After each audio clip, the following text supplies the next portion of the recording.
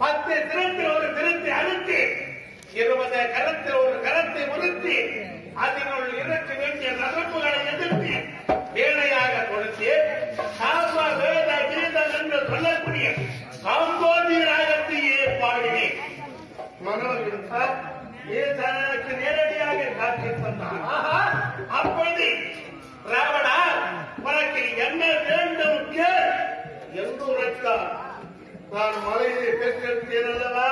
அதனால் எனக்கு தாகம் அதிகரித்து விட்டது. தாகோடானால் எனக்கு தாகம் அதிகரித்து- விட்டது என்று கேட்டேன். ஆஹா. அவர் என்ன செய்தார்? என்ன செய்தார்? அவர்தான் கலந்தத்தோடு அமரத்தை எனக்கு கொடுத்தார்.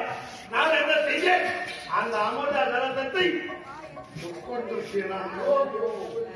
உட்கொண்டு விட்ட பிறகு என்னுடைய வாயில் நின்று விட்டது ராவணா நான் கொடுத்தது அமிர்தத்தை உனக்கு கொடுத்திய பருக வேண்டும் என்பதனால் அந்த அமிர்தத்தை நீ பருகாமல் உட்கொண்டு விட்டாயே. உன்னுடைய வாயில் நின்று விட்டது.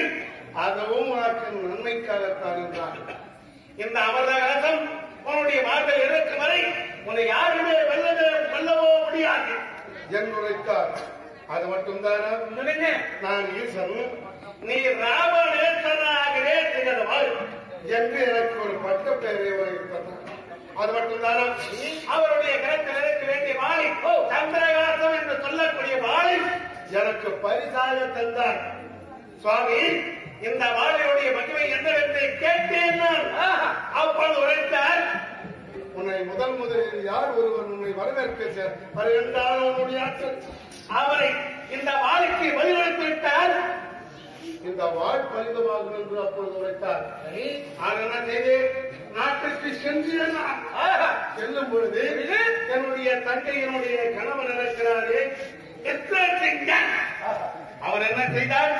சோற்பரங்கியனுடைய கணவன் வந்தார் என்னை வரவேற்று. அவர் எப்படி வந்தார்? முகத்தை அணிந்து கொண்டு வந்தார் என்னை வரவேற்று. பார்த்தேன் என்னடா இது?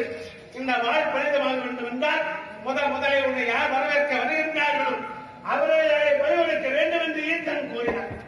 நான் என்ன செய்தேன்? தோற்றினேன் காலை வீழ்த்தினேன். உண்டாக விழுந்து விட்டது தலை. பார்த்தால் ஓடி வந்த அவளுடைய தங்கையானவள் ஓடி வந்த அண்ணா எப்படி செய்திருந்தீரே என்னுடைய கணவனை கொன்று விட்டீர்களே என்று அழுதாள் அதனால் நான் அவள் எப்போதுமே சோகத்தை காணக்கூடாது என்பதனால் அவளை சென்று பஞ்ச வடிவில் அந்த பஞ்ச வடிவில் விளையாடி கொண்டிருந்திருக்கிறாள் நம்முடைய தங்கை சோற்பார் அங்கையானவள் அப்பொழுது ராமன் லக்ஷ்மணன் அந்த இடத்திற்கு வந்திருக்கின்றார்கள். வந்து வந்தவர்கள் என்ன செய்திருக்கிறார்கள்? மூக்கை அறுத்திருக்கிறார்கள். அறுக்கலாமா? மூக்கு மட்டும்தானா? மூக்கு முகை சிகை அறுத்திருக்கிறார்கள். ஒரு பெண்ணுக்கு முக்கியமானது என்ன? மூக்கு முகை சிகை இவை மூன்று தானே அழகி. அதை அகற்றிருக்கின்றார்கள் ஆ. ஓடி வந்தால் அவருடைய தங்கையானவள் ஓடி வந்து அண்ணா என்னை அவமானப்படுத்தி விட்டாரே ராமன் லக்ஷ்மணர் என்று உரைத்தார். அப்படி நம்முடைய மாநில மாமாவை அழைத்து மாறி சமாமா நீ பொன்மானாக போக வேண்டும் என்று தெரிவிக்கிறார் பொன்மானாக சென்றார். அந்த ராமனை வெகு தூரம் அழைத்துச் சென்றார். பார்த்தி மரண தாரையோடு அந்த யானையை கொண்டு வந்து நான் சிறை வைத்து விட்டேன் என்னடா குற்றம் என்னடா தவறு? நம்முடைய தங்கையை மாமக்கள் செஞ்சவர்கள் அந்த படையனை படித்து படிவாக்க வேண்டிய எப்படி செய்ய தெரியாமல் பேசிவிட்டேன்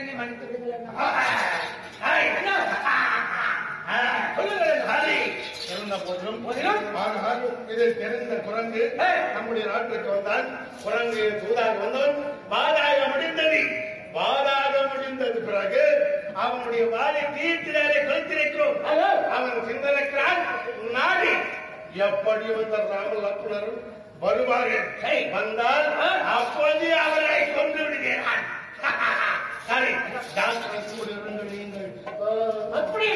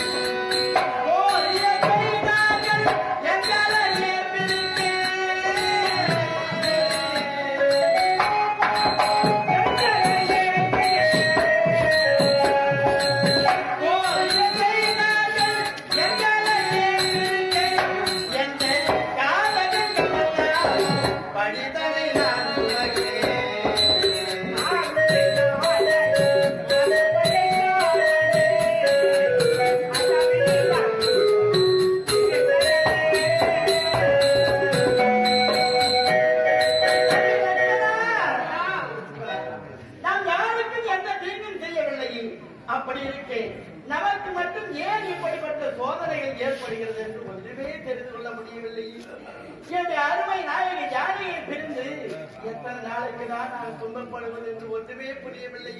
தம்பி கல்பனா அண்ணா அவரது தந்தையார். அயோத்தி அவரை சீரும் சிறப்போடு ஆட்சி புரிந்து வந்தார் தசரத சக்கரவர்த்தி. அவருக்கு மூன்று மனைவியரை மணந்து புத்திர பாக்கியமே கிடையாது.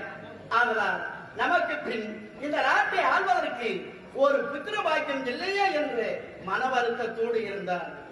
அப்போது நமது குலகுருவாகிய வசிஷ்டர் வந்து தசரதா உன் மனக்குறை போக்க வேண்டும். நீ என்றென்றும் புத்திர பாக்கியம் பெற்று சிறப்போடு வாழ வேண்டும் என்று வாழ்த்தினார் ஆதலால் சுவாமி எனக்கு புத்திர பாக்கியமே கிடையாது. நான் புத்திர பாக்கியம் பெற்று வாழ வேண்டும் என்று என்னை வாழ்த்துகின்றீர்கள் அது எப்படி நடக்கும் என்று கேட்டார். ஆதலால் நமது குலகுருவாக இருக்க வேண்டிய வசிஷ்ட மகாமுனிவர் கூறினார் காலத்திலே கலைக்கோட்டு மாமுனிவரை அழைத்து வந்து யாகம் நடத்தினார் யாகம் நடத்தினார் அதிலே ஒரு பூதம் தோன்றும். அந்த பூதத்தில் நேரத்தில் தேவ பாயாசம் கிடைக்கும் என்று உரைத்தார். ஆதலால் காணகம் சென்றார்கள்.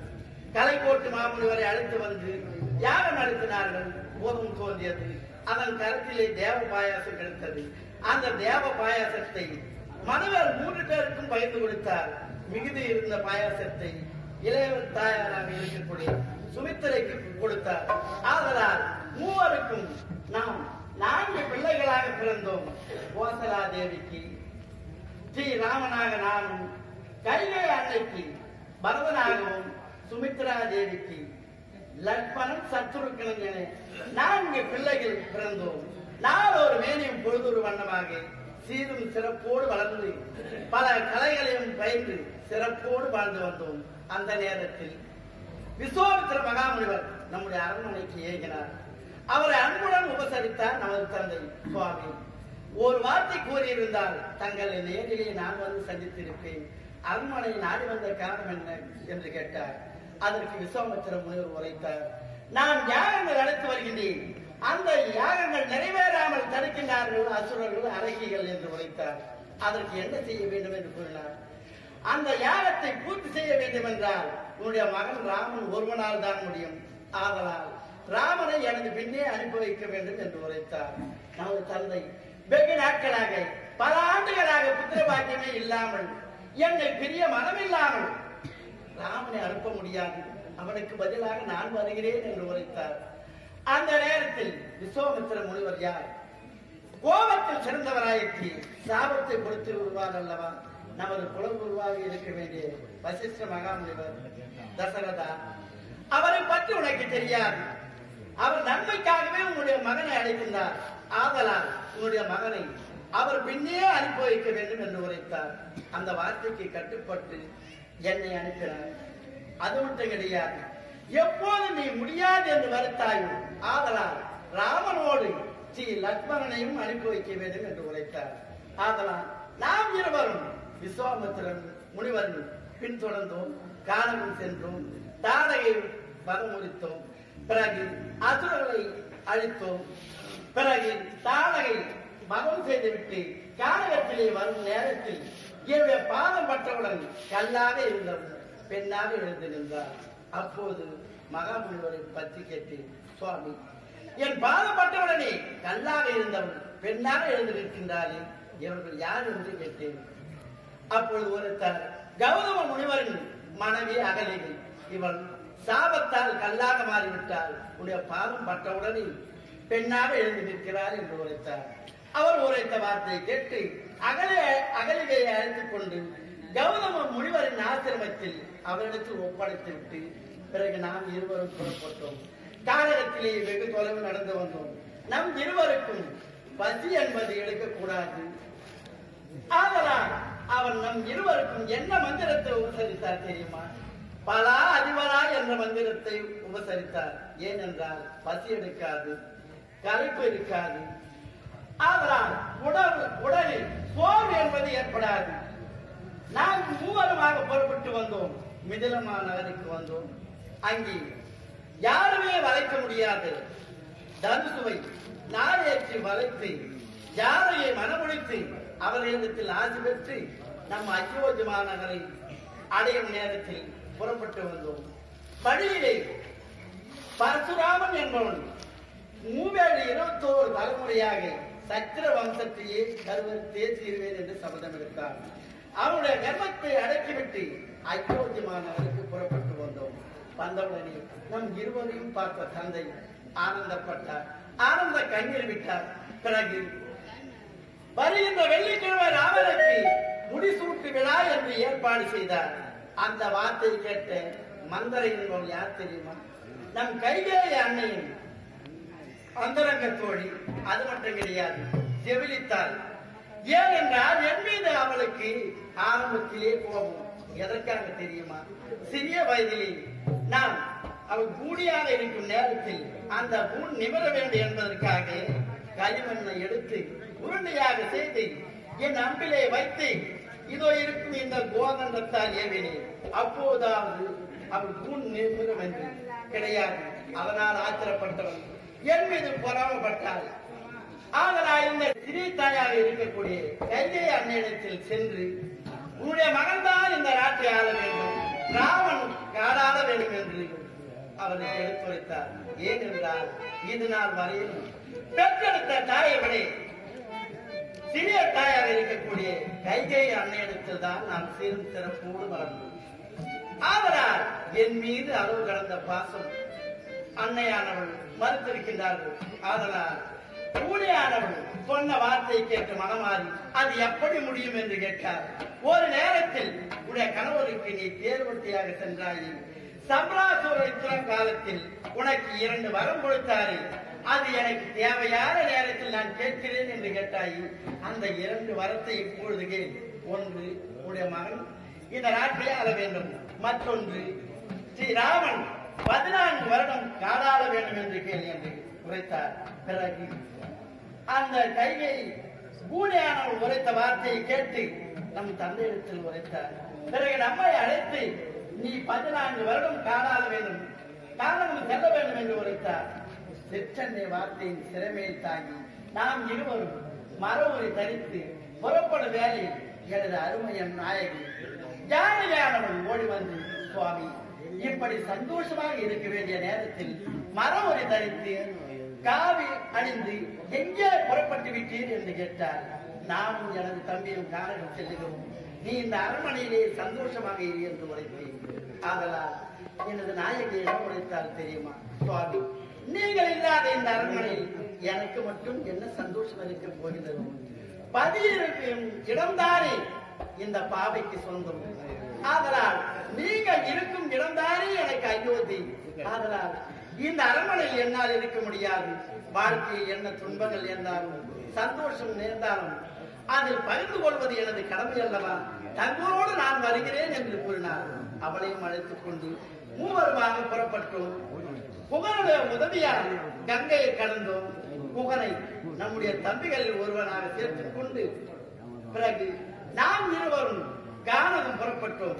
கானகத்தில் ஐந்து தரைக்கல் நிறைந்த பஞ்சவடிவு என்று சொல்லக்கூடிய அந்த இடத்திலே மண்டக சாலை அமைத்து காய்கறிகளை புசித்து காணாத ஜலத்தை அறிந்து சந்தோஷமாக வாழ்ந்தோம். வாழ்ந்து வந்த வேலையில் ஒரு நாள் மண்டக சாலையிலே இருக்கும் நேரத்தில் ஒரு புள்ளிமான் பொன்னிறமாக காட்சியளித்து துள்ளி விளையாடியது. அந்த மானை பார்த்த உடனே எனது நாயகி ஜானகியானவர் சுவாமி இந்த மானை எனக்கு பிடித்து தாருங்கள் என்று கேட்டார். அப்பொழுது நான் என்ன உரைத்தேன்? ஜானகி இது பார்த்தால் பொய்நிற மானாக காட்சியளிக்கிறது இது வேண்டாம் என்று உரைத்தேன். சுவாமி இது நான் வரையிலும் எனக்காக எந்த பொருளையும் தங்களிடத்தில் நான் கேட்டது கிடையாது. இந்த மாந்தானே வேண்டும் என்று கேட்டு இதை பிடித்து தாருங்கள் என்று கேட்டார். அவர் வார்த்தைக்கு மறுப்பு கூறாமல் நான் அந்த மானை துரத்தி சென்றேன். மானை துரத்தி சென்றவுடன் எவ்வளவு தொலைவு சென்றாலும் அந்த மான் என்னுடைய கரங்களுக்கு அகப்படவில்லை. ஆதலால் எனது கோதண்டத்தை எடுத்து கதையை ஏவினேன். அந்த மான் மீது பட்ட உடனே சீதாவையும் லட்சுமணாவையும் என்று கேட்டது மானாக மாறாக வந்தது. மாரேசன் என நன்றாக புரிந்து கொண்டேன். பன்னக சாலையில் இருக்கும் உங்களுக்கு ஏதாவது ஆபத்து ஏற்படும் என்று ஓடி வந்து பன்னக சாலையை பார்த்த நேரத்தில் எனது நாயகி ஜானகியை காணப்படவில்லை தம்பி